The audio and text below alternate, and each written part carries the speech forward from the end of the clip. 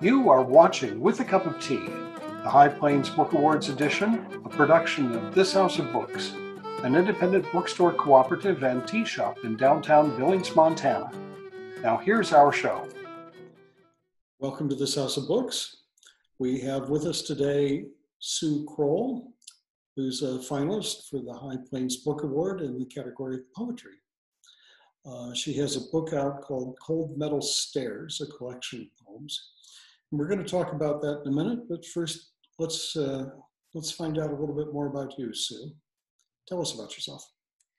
Well, uh, I currently live in Edmonton, Alberta, um, and I have been out west for oh gee since the 90s. I'm originally from Eastern Canada, from um, Aylmer, Quebec, which is across the river from Ottawa. And uh, part of my book is set in Montreal and Ottawa uh, because the book is about my father, uh, who uh, was diagnosed with dementia and lived with dementia for several years. And part of the book covers that, as well as his eventual death and an aftermath time, a coming to terms time. So the book travels geographically. There's some parts set in the east, but my parents uh, settled in Canmore, Alberta, uh, a few years ago, and that's where my my father died in Canmore. Um, so there's a lot about that region, that area. Okay, so you've you've uh, not always lived in in Alberta. Uh, you've moved since then. Uh, let me just ask. This is your, I think, your third collection of poetry. right. Yes. Okay. It is. And, yeah. you also have, I think, your first novel is coming out perhaps today.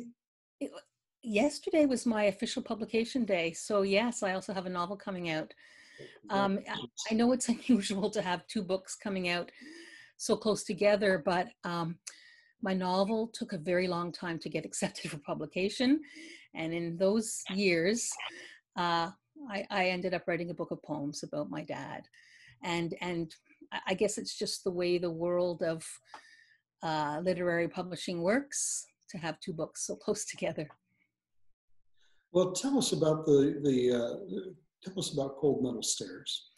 Yes. Um, it, it, it's a kind of chronicle in poems uh, about my father's dementia, uh, his life with dementia, uh, living in a, a facility, an extended care facility, and about his death. He died of um, pneumonia.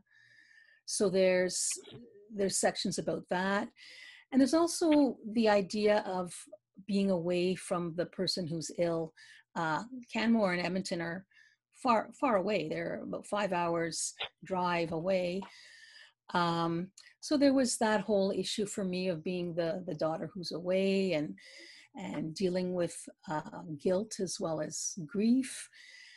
Um, the book also talks about long-term illness and you know the emotion around that and then there is a, a section later after a person dies, dealing with grief and and a coming to terms. Uh, my dad was uh, an arborist and a wonderful gardener, so there's a lot of in the ending section, a lot of gardening poems, um, which kind of talk about finding solace and and and a, moving beyond your grief a little bit. Um, so so the book is is a narrative. It's chronological. And I, I, guess people who've had this in their lives, dementia, Alzheimer's, um, could really relate to it. But I also think people who've lost a loved one, a parent, and, you know, especially in these COVID times, there's a lot of different kinds of grief. So the book is about approaching grief, moving through grief, uh, coming to terms. Um, and and the poems themselves are are quite straightforward plain language very narrative so um, it, it, seems like this would have a, a rather large audience, given the number of people who are affected by this um, kind of thing. Well, uh, in the in the few number of readings I was able to do before COVID came down, what was very interesting to me is when I would read in public, people would come up to me and be quite emotional about this is my grandmother, this is my spouse, this was and I did, you know, I hadn't entered the world of dementia before, uh, of course.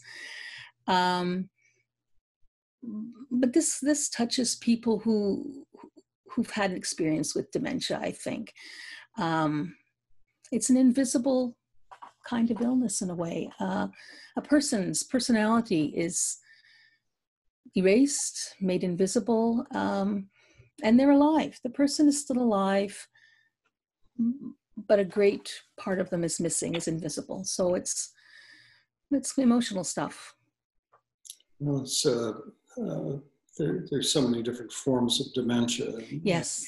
Your father, as I understand it, had Lewy body dementia, which is yes, he did. quite pervasive. Uh, and, and, again, I had no idea of this. Suddenly, you you learn things. Um, I didn't realize it was such a pervasive form. Yeah. Yes, it's, you learn more than maybe you wanted ever to know. oh, is that right? Yeah. Yeah. Um, uh, I think in an interview previously, you, you talked about it and just said, you know, talk about how you were presenting uh, a version of your your own lived experience, mm-hmm. not necessarily a roadmap for anybody else, but uh, this not at all, yeah, yours. But nevertheless, um, it connects with so many people. It, I think so many people share the same kind of uh, well, I think the specific becomes potentially the universal. Um, yes, of course, you know every every uh, Alzheimer's, Lewy body, dementia story is different and the same in in some ways. Yeah. Yeah. Well, thanks so much for sharing this with us. I, I really appreciate the time you've taken to uh, to visit with us here and and uh, share your story. I, well, thank you so much for your interest. Yes. Well, we, we hope to see you in Billings. Uh, you know, Maybe. As soon as, as, soon as we can travel again, it would be great. Yeah, in the healthy future. in the healthy future. Thanks so much. Thank you.